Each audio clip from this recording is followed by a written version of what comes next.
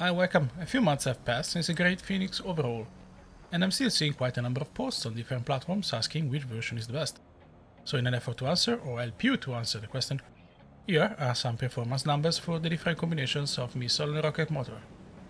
I've already said a lot about the missile, describing the issues of the AIM-54, the kind of parameters it loves, and how to squeeze a bit more performance in other videos I've made in the past, and you can find them linked in the description.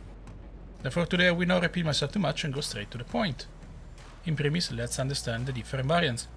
The AIM-54A was introduced with the Tomcat in 1974, but its genesis is much older, and the first tests go back to the mid-60s. Yep, it is that old, and in fact, it is rather a stupid missile, so to speak, much closer to a big AIM-7 Sparrow than a modern AIM-120 AMRAAM. The AIM-54C was a later variant introduced in 1986, but it is light years ahead in terms of technology. It shows the full advantages of the digital era and it is a very dangerous weapon across all sorts of targets. The only minor disadvantage is the increasing weight, which impacted, the albeit very marginally, its pure kinematic performance. Both missiles come with two different rocket motors, the Mark 47 and Mark 60. Simply put, the first burns longer, the second for a shorter period but with greater intensity. This is reflected in their performance, we will see in a moment, but also in their trajectory. No matter the combination of missile and rocket motor, all versions of the AIM-54 Phoenix love geometry, as usual, the most important factor. Altitude, very close to the geometry in terms of importance, especially as the range increases. And speed, but to a slightly lesser degree. Even if these three key factors are satisfied, long range implies longer time of flight, which in turn increases the odds of the target modifying uncontrollable parameters of the geometry thus kinetically defeating the missile. If this fundamental point is not clear, consider how many opportunities you have to kinematically defeat a missile if you have a couple of minutes at your disposal, versus kinematically defeating an AIM-9X, for example, which hits within a few seconds. To achieve its remarkable long-range capability, the Phoenix uses a simple strategy. It tries to get as high as possible in the shortest time possible. Then it cruises at a moderate speed around Mach 2, Mach 2.5 and eventually it dives onto the target from high altitude. In this final phase, it sometimes accelerates, depending on a number of factors. This is why altitude is important. The higher the launching platform is, the shorter the time the Phoenix spends in the denser part of the atmosphere. This is another reason why manual lofting helps the Phoenix, as its initial trajectory is already thrusting it upwards, as discussed in the two videos I mentioned before. So this scenario we're using sees the Tomcat flying at 35,000 feet at Mach 0.9 and the target Coalt flying at Mach 0.8. Let's now try to figure out which version of the Phoenix is the best, if there is one. The first parameter is the speed at which the missile impacts its target. In theory, the higher, the better, as a faster missile has more energy to deal with last second maneuvers and offers shorter windows to react. The charts show speed versus distance, the angles represents the manual loft sweet spots, but as we know, there are some caveats. So we can see immediately how the missiles appear to follow a pattern dictated by the rocket motors. The C versions are heavier and seem to have a negative offset compared to the A. More can be said about this aspect, but in the interest of shortening the discussion, we can say that the rocket motor is the greater discriminant performance-wise. In fact, going forward, I will skip the discussion about the A versus C to focus on Mark 47 versus Mark 60. The impact of manual loft is tangible, especially at 20 nautical miles, which is a critical range as we know, but helps across the whole sets of ranges. Away from that, we can see how the Mark 47 and Mark 60 show no clear winner. In premise they are quite comparable, but the Mark 47 seems more performing at shorter range, at the Mark 60 and longer. This is possibly due to the fact that trajectories are different, in the Mark 60 propels the Phoenix at higher altitude somewhat faster. At short range is that the apex altitude is lower, so the longer burn of the Mark 47 helps more.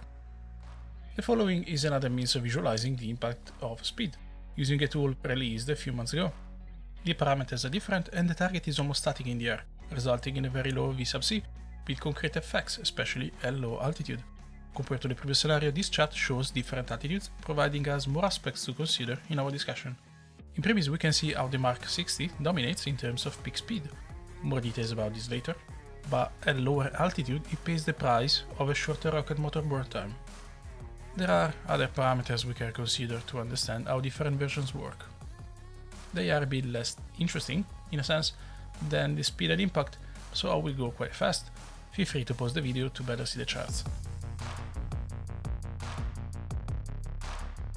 The separation at impact is important to have a general understanding of the distance at which the Tomcat can turn cold.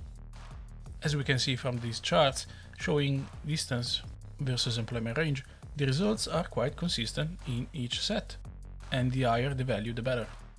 Observing the differences as a percentage of the employment range, it is even more interesting because we can see that the consistency, besides the particular case of 20 nautical miles, it is applicable between 25 nautical miles and 80 nautical miles, with results floating between 38% and 42%. Obviously, the results are affected by the geometry, so cranking and the speed of both aeroplanes and so on play a critical role.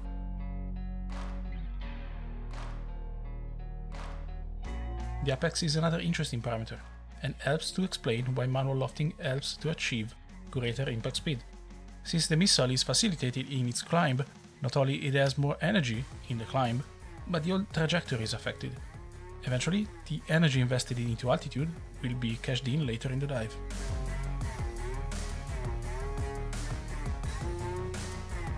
The peak speed serves to describe the trajectory as well, and missile climbing steeply we reached high altitude earlier, with greater benefits in the endgame. The 20 nautical miles shows how, all things considered, the AIM-54 Phoenix is not as low as missile considering its age, when its direct alternative, the AIM-7 Sparrow, reaches a top speed almost a max lower.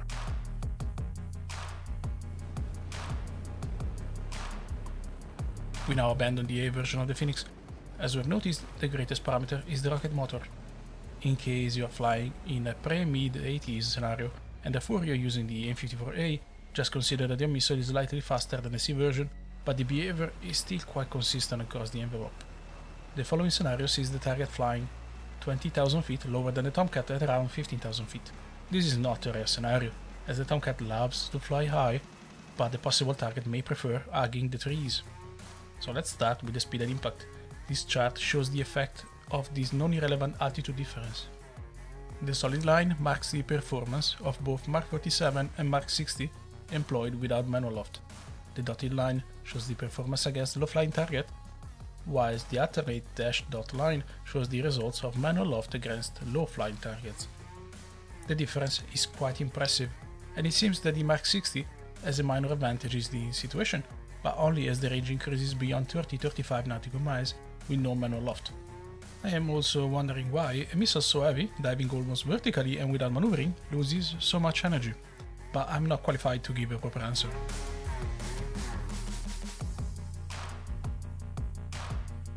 Since the altitude of the target affects the trajectory, the other parameters we are discussing change as well. The separation at impact is visibly affected at short range, especially with manual loft.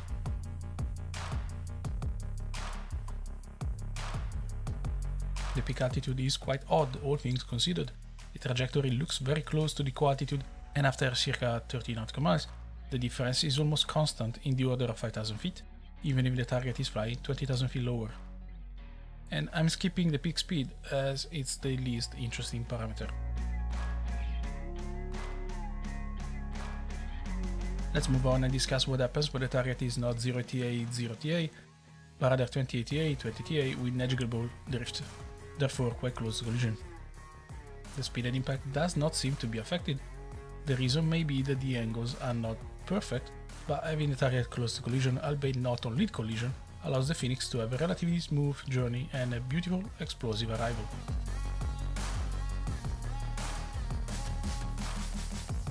The separation at impact cannot really be compared to the previous results since the closure rate is lower. I've added them anyway to better observe the trend.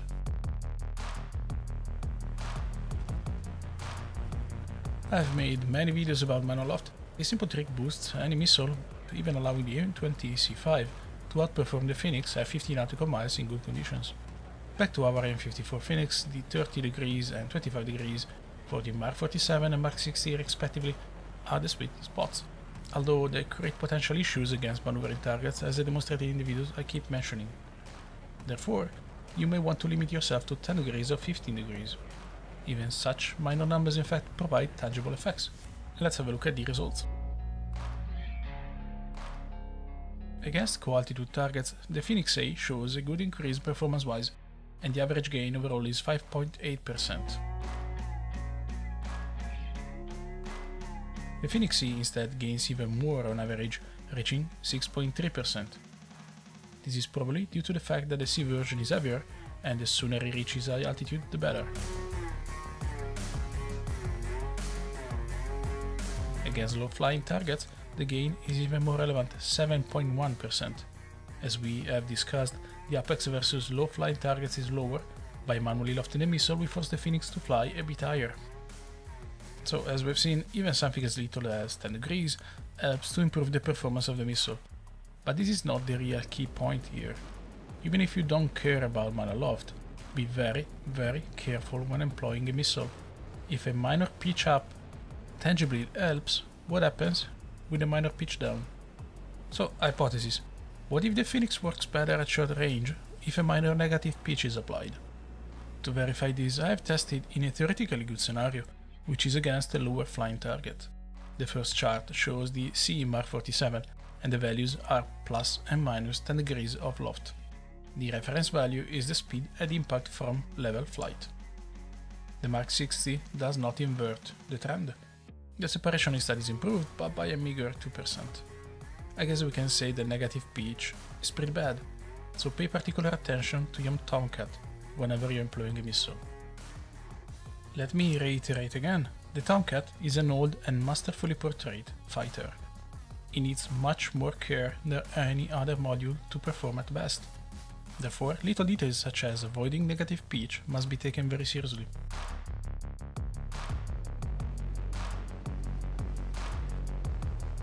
And we are finally arrived at the conclusions. We have seen multiple scenarios and employment parameters, so which Phoenix is better? The answer is, it depends. A versus C is not really up to debate, and depends on the mission settings. The advantages of the C version, despite its current issues related to DCS, such as the inability to reacquire the target, make it the preferable version. The A version is not necessarily bad, of course, especially in STT and considering the problems of DCS I mentioned above. The rocket motor is the factor that more tangibly separates the two versions. However, contrary to the first iteration of 2019, we do not have a version that really shines. Different deployment scenarios and ranges affect the missile in different ways. At very short range, within 6, 10 nautical miles, depending on the altitude, the Mark 60 drastically wins. It burns faster, but is also the brightest. However, past the initial burst, the endurance of the Mark 47, with its long-lasting 30 seconds burn time, makes it superior. This also means that the Mark 47 performs better at lower altitude or against maneuvering targets, as the missile is lower, but it also keeps going for an incredible amount of time. Therefore, between 6-10 nautical miles and the critical threshold of 20 nautical miles, the Mark 47 performs better, sometimes even drastically, than the Mark 60. It is around 30 nautical miles that the new shift occurs, the Mark 60 starts to perform better again and the margin widens as the range increases. But this is not all, if the target is flying lower than the Tomcat, as may sometimes happen, since the F-14 and the Phoenix love to fly high, then the Mark 60 seems to be the best choice, probably because its trajectory is different and reaches higher altitude. When we add manual loft to the equation, everything changes again, and both missiles become almost identical in terms of performance. The advantage of the Mark 60 in terms of climb rate in fact is almost annulled by the manual loft, and the Mark 47 often performs better due to its endurance. Adding manual loft and using the sweet spots, we find that the Mark 47 performs better between 6-10 nautical miles until 40 nautical miles than its Mark 60 territory. Only at about 80 nautical miles the Mark 47 wins again.